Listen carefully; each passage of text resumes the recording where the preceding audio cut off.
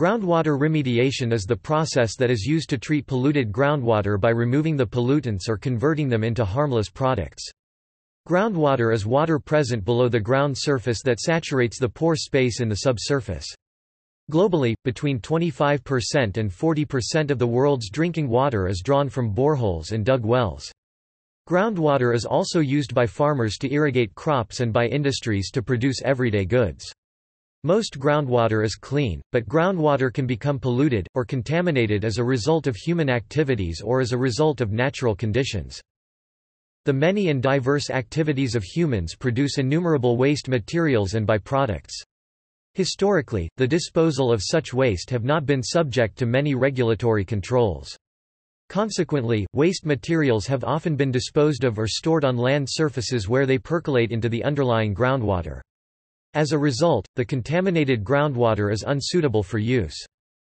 Current practices can still impact groundwater, such as the over-application of fertilizer or pesticides, spills from industrial operations, infiltration from urban runoff, and leaking from landfills.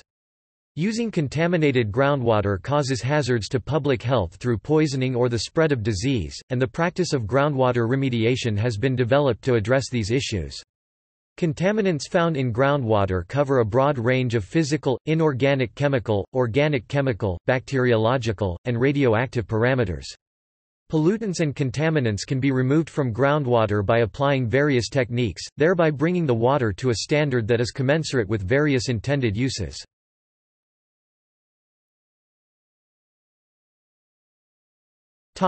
Techniques Groundwater remediation techniques span biological, chemical, and physical treatment technologies. Most groundwater treatment techniques utilize a combination of technologies. Some of the biological treatment techniques include bioaugmentation, bioventing, biosparging, bioslurping, and phytoremediation. Some chemical treatment techniques include ozone and oxygen gas injection, chemical precipitation, membrane separation, ion exchange, carbon absorption, aqueous chemical oxidation, and surfactant-enhanced recovery. Some chemical techniques may be implemented using nanomaterials. Physical treatment techniques include, but are not limited to, pump and treat, air sparging, and dual-phase extraction.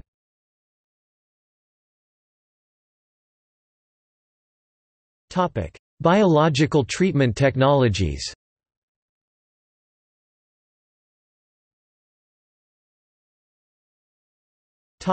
Bioaugmentation If a treatability study shows no degradation or an extended lab period before significant degradation is achieved in contamination contained in the groundwater, then inoculation with strains known to be capable of degrading the contaminants may be helpful. This process increases the reactive enzyme concentration within the bioremediation system and subsequently may increase contaminant degradation rates over the non-augmented rates, at least initially after inoculation.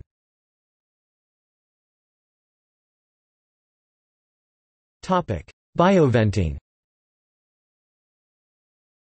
Bioventing is an in situ remediation technology that uses microorganisms to biodegrade organic constituents in the groundwater system.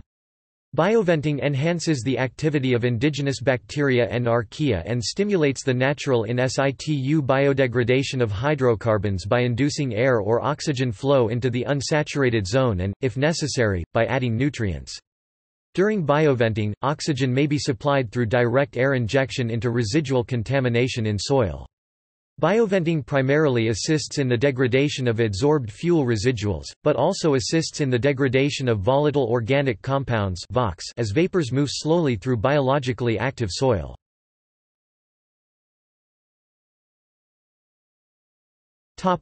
Biosparging Biosparging is an in situ remediation technology that uses indigenous microorganisms to biodegrade organic constituents in the saturated zone. In biosparging, air or oxygen and nutrients if needed are injected into the saturated zone to increase the biological activity of the indigenous microorganisms. Biosparging can be used to reduce concentrations of petroleum constituents that are dissolved in groundwater, adsorbed to soil below the water table, and within the capillary fringe.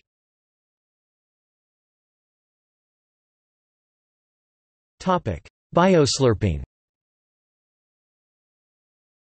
Bioslurping combines elements of bioventing and vacuum-enhanced pumping of free product that is lighter than water light non-aqueous phase liquid or LNAPL to recover free product from the groundwater and soil, and to bioremediate soils. The bioslurper system uses a slurp tube that extends into the free product layer. Much like a straw in a glass draws liquid, the pump draws liquid including free product and soil gas up the tube in the same process stream. Pumping lifts LNAPLs, such as oil, off the top of the water table and from the capillary fringe i.e., an area just above the saturated zone, where water is held in place by capillary forces. The LNAPL is brought to the surface, where it is separated from water and air. The biological processes in the term bioslurping refer to aerobic biological degradation of the hydrocarbons when air is introduced into the unsaturated zone contaminated soil.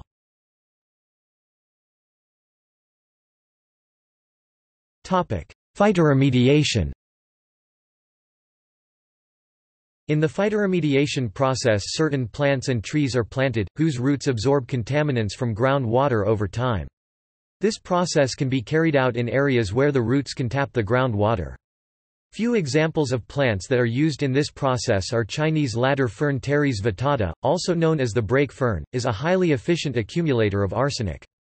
Genetically altered cottonwood trees are good absorbers of mercury and transgenic Indian mustard plants soak up selenium well.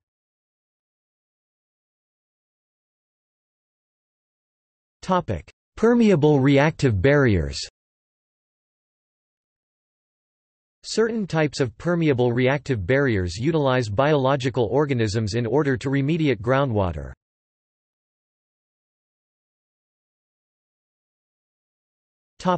Chemical treatment technologies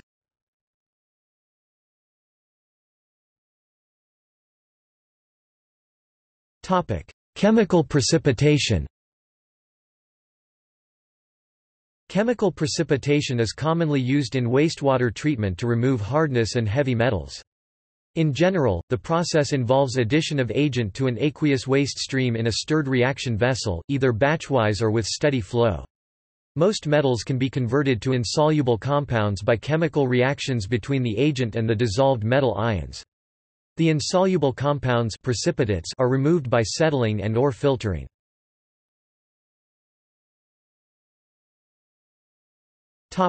Ion exchange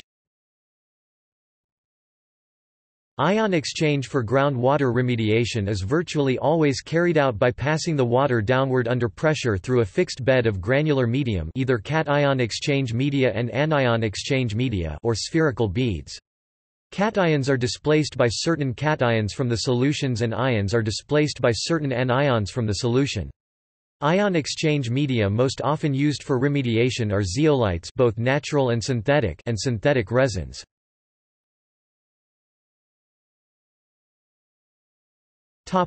Carbon absorption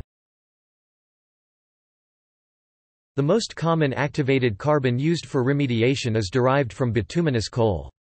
Activated carbon absorbs volatile organic compounds from groundwater by chemically binding them to the carbon atoms.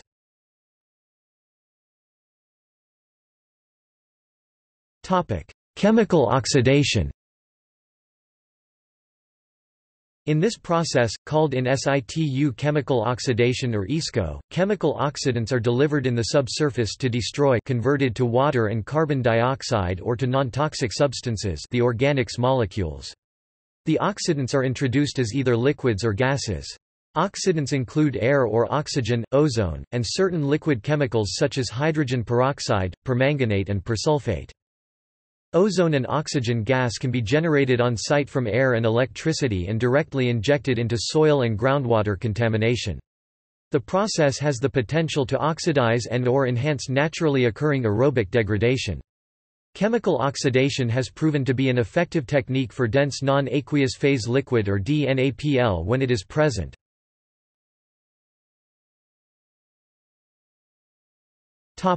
Surfactant-enhanced recovery Surfactant-enhanced recovery increases the mobility and solubility of the contaminants absorbed to the saturated soil matrix or present as dense non-aqueous phase liquid. Surfactant enhanced recovery injects surfactants surface active agents that are primary ingredient in soap and detergent into contaminated groundwater. A typical system uses an extraction pump to remove groundwater downstream from the injection point. The extracted groundwater is treated above ground to separate the injected surfactants from the contaminants and groundwater. Once the surfactants have separated from the groundwater they are reused. The surfactants used are non-toxic, food-grade, and biodegradable. Surfactant-enhanced recovery is used most often when the groundwater is contaminated by dense non-aqueous phase liquids DNAPLs. These dense compounds, such as trichloroethylene TCE, sink in groundwater because they have a higher density than water. They then act as a continuous source for contaminant plumes that can stretch for miles within an aquifer. These compounds may biodegrade very slowly. They are commonly found in the vicinity of the original spill or leak where capillary forces have trapped them.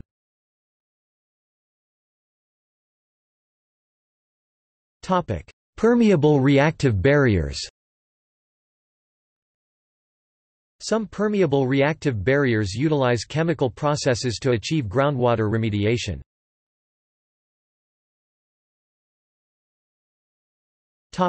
Physical treatment technologies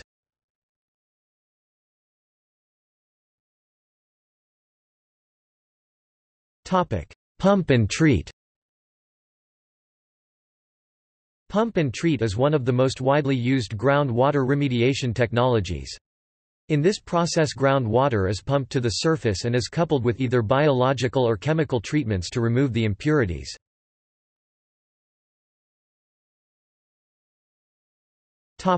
Air sparging Air sparging is the process of blowing air directly into the groundwater. As the bubbles rise, the contaminants are removed from the groundwater by physical contact with the air i.e., stripping and are carried up into the unsaturated zone i.e., soil. As the contaminants move into the soil, a soil vapor extraction system is usually used to remove vapors.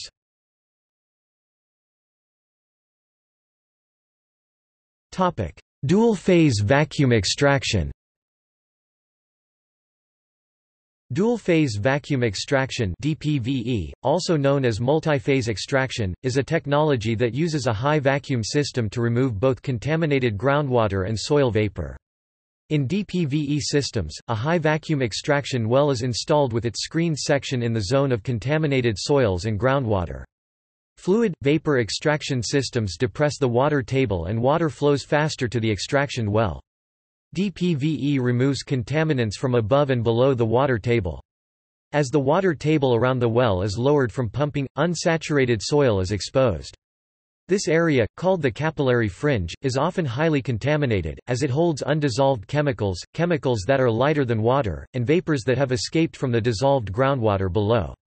Contaminants in the newly exposed zone can be removed by vapor extraction. Once above ground, the extracted vapors and liquid phase organics and groundwater are separated and treated. Use of dual-phase vacuum extraction with these technologies can shorten the cleanup time at a site, because the capillary fringe is often the most contaminated area.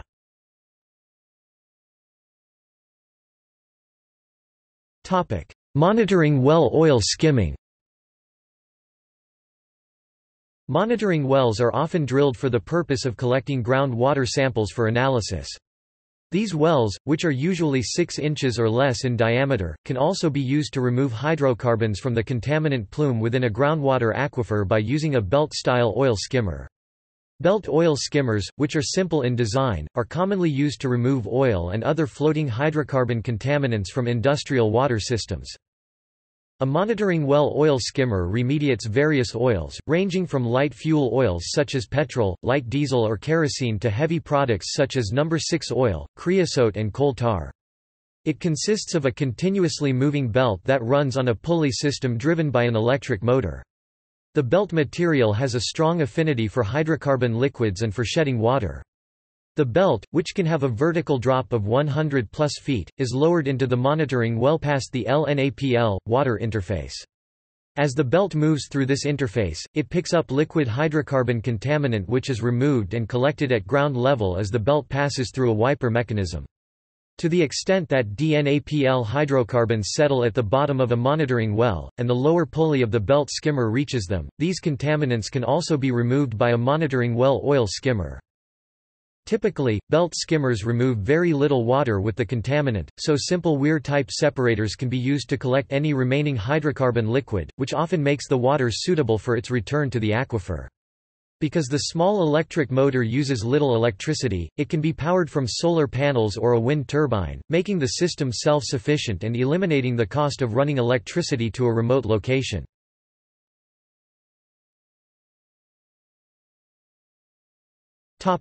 See also. Toxic torts. Brownfield. Circlet Groundwater pollution. Plume hydrodynamics. Groundwater remediation applications of nanotechnology